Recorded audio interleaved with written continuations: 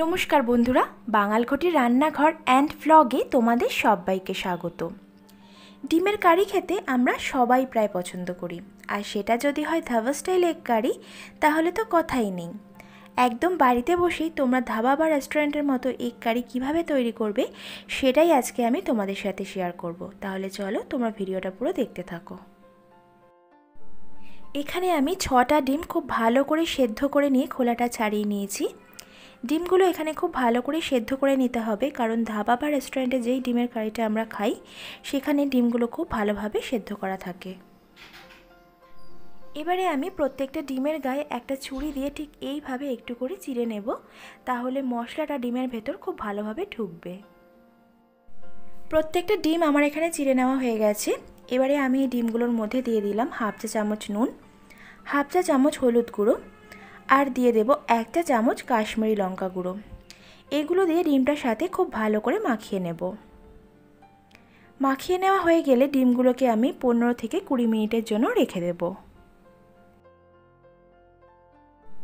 পনেরো মিনিট পর আমি কড়াইতে বেশ খানিকটা সর্ষের তেল দিয়ে তেলটাকে ভালো করে গরম করে নেব এবং তেলটা গরম হয়ে গেলে ডিমগুলোকে তেলের মধ্যে দিয়ে লো টু মিডিয়াম ফ্লেমে ডিমগুলোকে একটু লাল লাল করে ভেজে নেব। এরপর ডিমগুলো যখন ভাজা হয়ে যাবে, তখন আমি এই ডিমগুলোকে তুলে রেখে দেব। এবারে বাকি তেলটার মধ্যে আমি দিয়ে দিচ্ছি হাফ চা চামচ গোটা জিরে, দুটো এলাচ, দুটো লবঙ্গ, একটা দারচিনি, একটা তেজপাতা, দুটো শুকনো লঙ্কা, আর দিয়ে দেব চার পাঁচটা কাঁচা লঙ্কা কুচি। ঝাল কম খেলে এখানে তোমরা লঙ্কার পরিমাণটা একটু কমিয়েও দিতে পারো। প্রায় এক মিনিট মতো লো ফ্লেমে এগুলো একটু ভেজে নেব। এক মিনিট পর আমি এর মধ্যে দিয়ে দিচ্ছি চারটে মাঝারি সাইজের পেঁয়াজ কুচি।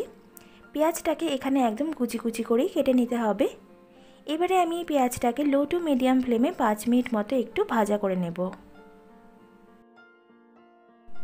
পেঁয়াজটা যখন এরকম ভাজা হয়ে যাবে, তখন আমি এর মধ্যে দিয়ে দেব দুটো বড় সাইজের টমেটো পেস্ট টমেটো পেস্টটা দিয়ে আমি এর মধ্যে স্বাদ মতো নুন দিয়ে দেব আর দিয়ে দেব খুব সামান্য একটু চিনি। চিনিটা এখানে অপশনাল তোমরা না চাইলে নাও দিতে পারো। এবারে এই পেঁয়াজ আর টমেটো পেস্টটা খুব ভালো করে মিডিয়াম ফ্লেমে কষিয়ে নিতে হবে। যতক্ষণ না এই টমেটোটার মধ্যে যে জল জল ভাবটা আছে, সেটা পুরোপুরি শুকিয়ে যায়। প্রায় সাত মিনিট পর টমেটো আর পেঁয়াজটাকে কষাতে কষাতে এরকম যখন জল জল ভাবটা শুকিয়ে আসবে, তখন আমি এর মধ্যে দিয়ে দেব দু টেবিল চামচ আদা, রসুন এবং শুকনো লঙ্কা বাটা।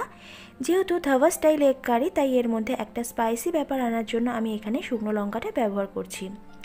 এরপর দিয়ে দেব এক চা চামচ জিরে গুঁড়ো, এক চা চামচ ধনে গুঁড়ো, হাফ চা চামচ হলুদ গুঁড়ো আর দেব দু চা চামচ কাশ্মীরি লঙ্কা গুঁড়ো। এটা সম্পূর্ণ কালারের জন্য। আর ধাবা স্টাইল এগ কারি বানানোর জন্য কিন্তু এই কাশ্মীরি লঙ্কা গুঁড়োটা অবশ্যই দিতে হবে। এবারে এই গুঁড়ো মশলাগুলো দেওয়ার পর আমি এটাকে লো ফ্লেমে দু থেকে তিন মিনিট মতো একটু কষিয়ে নেব। দু থেকে তিন মিনিট মতো কষিয়ে নেওয়ার পর আমি এই মশলাটার মধ্যে হাফ কাপ মতো জল দিয়ে দিলাম যাতে মশলাটা পুড়ে না যায়। জলটা মশলাটার সাথে খুব ভালো করে মিশিয়ে নিতে হবে। তারপর একটা ঢাকা চাপা দিয়ে এই মশলাটাকে লো ফ্লেমে সাত থেকে আট মিনিটের জন্য এইভাবে রেখে দেব। সাত থেকে আট মিনিট পর ঢাকনাটা খুললাম।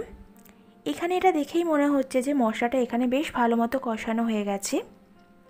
এবারে কড়াইটাকে আমি একটু সরিয়ে রাখব এবং ওই গ্যাসেতেই একটা তড়কা প্যান বসিয়ে দেব। তরকা প্যানটা বসিয়ে দিয়ে এর মধ্যে দিয়ে দেব এক টেবিল চামচ বেসন। বেসনটাকে লো ফ্লেমে এক মিনিট মতো একটু রোস্ট করে নেব। তারপর এই মশলাটার মধ্যে বেসনটাকে দিয়ে দেব এবং মশলাটার সাথে খুব ভালো করে মিশিয়ে নেব। আর এক থেকে দু মিনিট মতো লো ফ্লেমে একটু নেড়ে ছেড়ে নেব।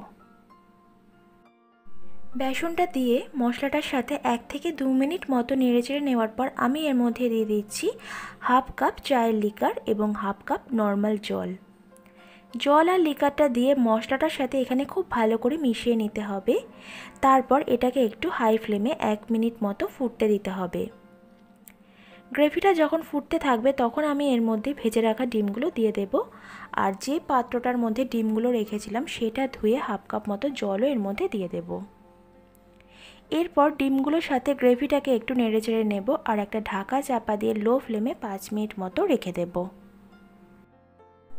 পাঁচ মিনিট পর ঢাকাটা খুললাম। পাঁচ মিনিট মতো এইভাবে ঢাকা দিয়ে রাখার ফলে গ্রেভিটাও ডিমগুলোর মধ্যে বেশ ভালোভাবে ঢুকে গেছে। এবারে আমি এর মধ্যে দিয়ে দেব হাফ চা চামচ গরম মশলা গুঁড়ো এবং হাফ চা চামচ কাসৌরি মেথি। কাসৌরি মেথিটা অবশ্যই একটু হাতে ঘষে নিয়ে তারপর এর মধ্যে দিতে হবে। গরম মশলা গুঁড়ো এবং কাসৌরি মেথিটা ডিমের কারিটার সাথে খুব ভালো করে মিশিয়ে নেব। খুব ভালো করে মিশিয়ে নেওয়া হয়ে গেলে আমি গ্যাসটা অফ করে দেব এবং একটা ঢাকা চাপা দিয়ে কিছুক্ষণ স্ট্যান্ডিং টাইমের জন্য রেখে দেব। তাহলে ধাবা স্টাইল এগ কারি খেতে ইচ্ছা হলে তোমাদের আর ধাবা বা রেস্টুরেন্টে যেতে হবে না।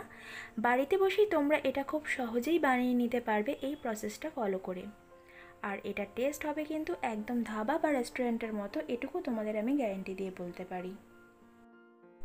রেসিপিটা ভালো লাগলে চ্যানেলটিকে সাবস্ক্রাইব করে রেখেও আরও এরকম নিত্য নতুন রেসিপির জন্য তার সঙ্গে কিন্তু একটা লাইক শেয়ার কমেন্ট করতে ভুলো না। আজকে এখানেই বিদায় জানাচ্ছি। আবারও চলে আসব অন্য কোনো দিন সুন্দর একটা ভিডিও সঙ্গে নিয়ে। সবাই খুব ভালো থেকো, সুস্থ থেকো। ধন্যবাদ।